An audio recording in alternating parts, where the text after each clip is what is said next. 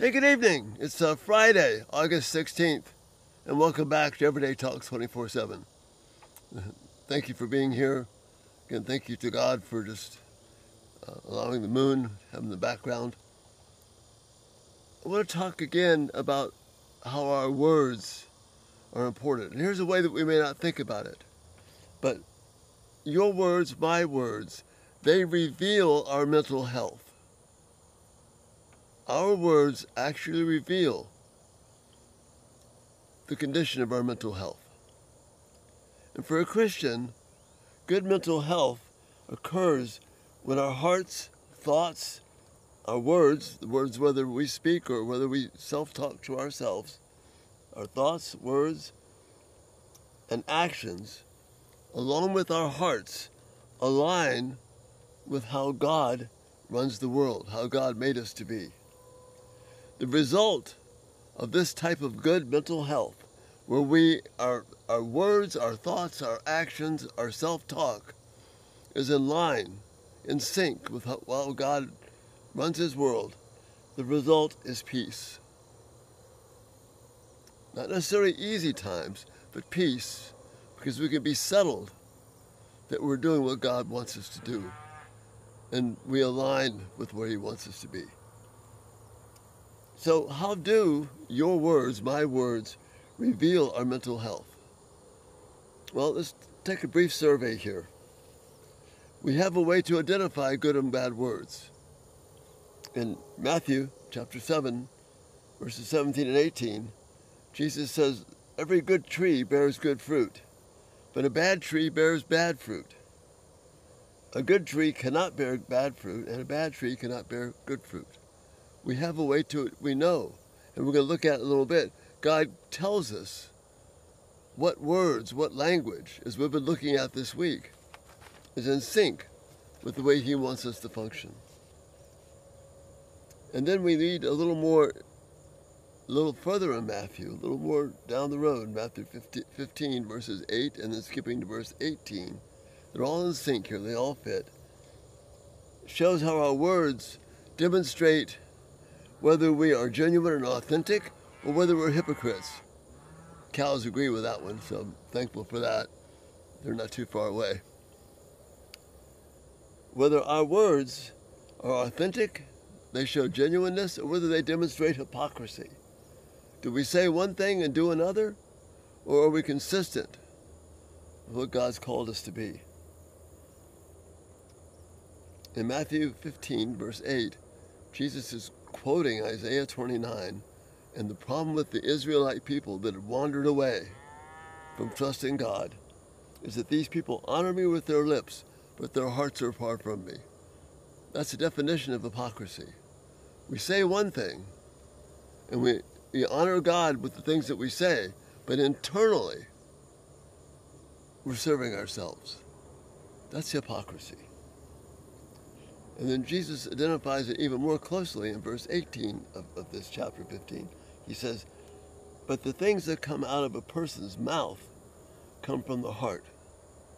And those are the things that defile him, not the outward actions. So you see, this points us to the importance of being in sync with God, living in alignment with Him, if our mental health is going to be stable and good. So we've been looking at the importance of our words.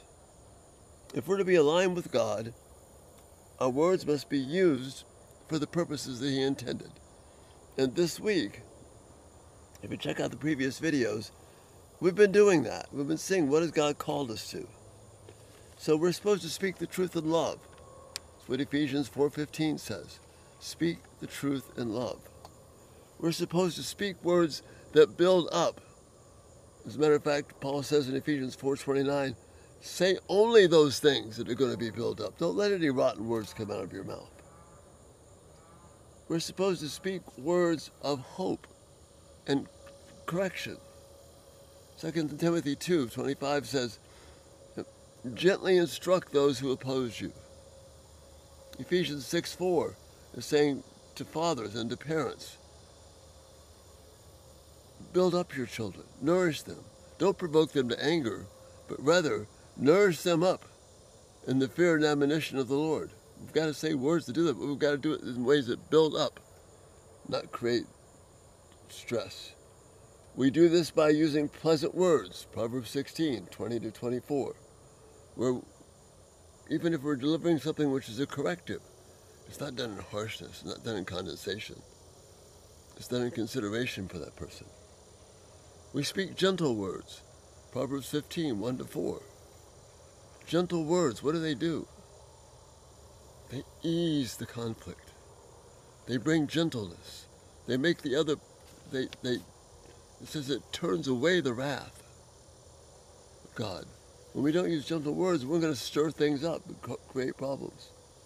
And then there are many verses, many passages you could go here. But then the last I'm going to look at tonight is Philippians 2, 3, where we are to show respect for people. Show respect for God, for the one who made these people. So Philippians 2, 3 says, in humility, consider others more important than yourself. Do our words re- represent that? A respect for God, the one who made this person, the person made in God's image, even if they're being off the wall and wrong, we can still speak with respect because God calls us to. You see, when we choose to speak words that are not aligned with God's direction, God's purpose, then we're being wise in our own eyes. In other words, i have got a better way to do it than what God says. These things that I just read, these are not options. When we turn to, choose to go away from them, we're being wise in our own eyes. When we live out of our, our own eyes, our own wisdom, we are living out of sync, out of alignment with how God designed us to function, and particularly in relationships. And Proverbs speaks directly to that. Proverbs 3 7 to 8 says this Do not be wise in your own eyes, but fear the Lord and turn away from evil. And then if you are wise in your own eyes, that's not good. But if you are, if you do, or if you're wise in God's eyes, if you turn away from evil and honor God, then this brings health to your body and nourishment to your bones. The word body there is a little misleading. It's really in the Hebrew for navel. And what that means is that's the center of your gut, your all of your emotional gut feeling center. That's what it's being talked about here. So he's not being redundant when he says health to your body and nourishment to your bones. Bones are your physical body, this stuff right here, the flesh. But navel is this emotional center where we are. If I'm wise in my own eyes, I'm going to upset my emotional center. I'm going to bring damage to my physical body. That's what Proverbs are telling us. So when we use words that are consistent with our own wisdom, our mental health is going to be out of line, out of sync, and it's not going to function well. Literally. The result is we will suffer mentally, emotionally, and physically. When we choose to speak in our own language, our own ways, our own words, when we ignore the way God made us to function in this world, we're going to be out of sync with what He called us to be about. And that's going to wreak havoc with us. Brothers and sisters, our words matter. It's not about getting it right and wrong and on a checklist. It's being in sync with the God of the universe. And the result is mental health that is in line with the way God made us so that our thoughts, our actions, our words, and our hearts are aligned with God, and that brings peace. Again, love your thoughts, your feedback. Thank you so much for being here. This is important material. So, again, look forward to hearing from you about it. Thanks so much for being here. Lord willing, we'll see you tomorrow. Have a great night. Bye bye